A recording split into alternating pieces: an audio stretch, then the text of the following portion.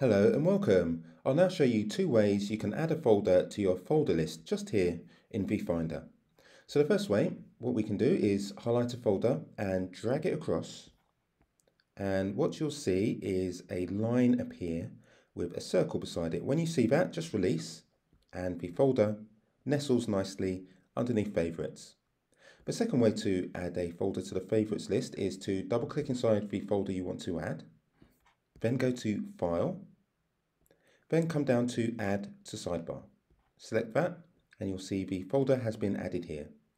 There are two ways to remove these folders. The first way is to highlight any one of the folders, drag it across and you'll see an X appear, at which point you can release and it's gone. The second way is to right click on a folder and then go to remove from sidebar. So hopefully that's helped you set up your favorites.